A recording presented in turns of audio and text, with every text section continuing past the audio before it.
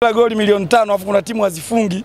Sasa hii inarudisha mpira wa Tanzania nyuma, Kwa hiyo uh, timu ikitoa suluhu ina, ina, inalipa milioni tano.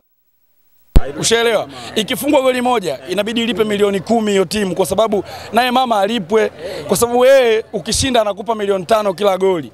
Wewe usipofunga inabidi ulipe milioni tano na wewe, lakini pia ukifungwa inabidi ulipe milioni kumi ili mpira wa Tanzania uende, uendelee kwenda mbele.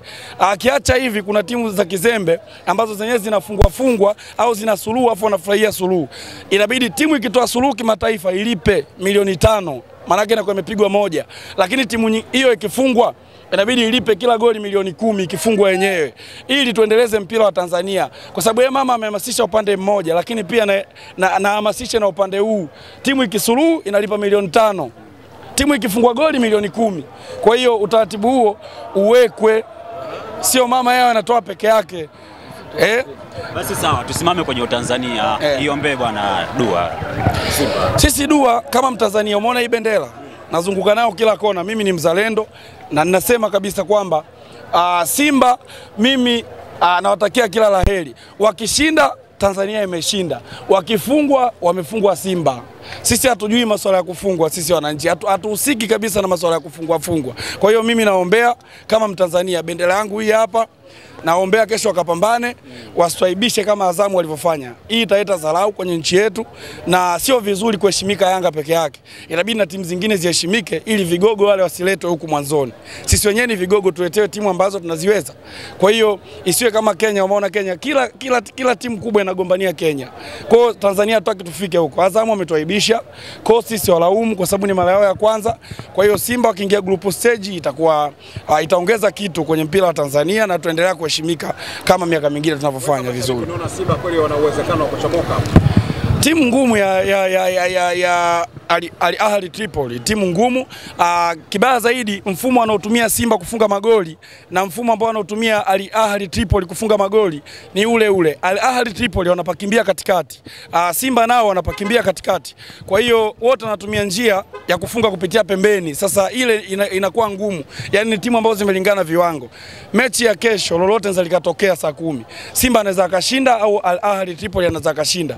Akishinda Simba, Tanzania imeshinda, lakini Simba akifungwa, matokeo ya kwake Bwana fresh. hapo hapo. Sita kwa sifuri uwanja wa nyumbani hapa Amani Complex. Eh bwana, kitu kilicho ni impress leo ni kumwona Dennis Mkane. Uh, kile kilio wageni wanakuja wengi kimeshakatwa na Mkane alichokionyesha. Yeah, of course ameonyesha kwamba mtu ukijituma lazima ufanikiwe. Oh, Dennis Nkane leo ameingia dakika chache, lakini kiwango alichoki, alichokipiga alichoonyesha, unaona hadi Gamondi mwenyewe kacheka akafurahi. Kwa hiyo uh, nikiangalia benchi la, la, la, la Yanga pale wakina Pakome walikuwa benchi eh, wote wamecheka pale wakina Msheli kwa sababu dogo kaonyesha kiwango kizuri sana Dennis Nkane. Wote hata mashabiki tumefurahia alichokifanya.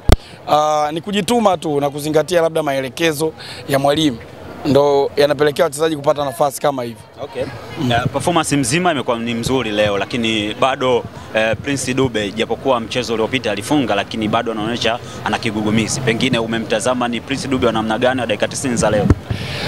Prince Dube ni yule yule. Mimi nafikiri huwa sijaji sana uwezo wa Dube kwa sababu mimi Dube namfahamu vizuri, ni mchezaji hatari. Uh, atakaa tu sawa ili atupe furaha na michezo iko mingi.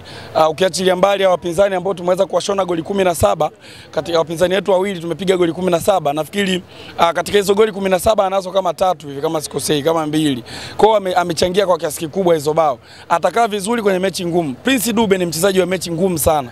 Kwa hiyo kama ni mchezaji wa mechi ngumu zitakuja huko mbele, lazima ataonyesha kile kiwango ambacho watu uh, tunakitarajia akiungana na mwenzie mchezaji mwenzie mwenye uh, uh, Chama mchezaji mkubwa, mchezaji anayeamua mechi. Mechi za maamuzi ni za Chama.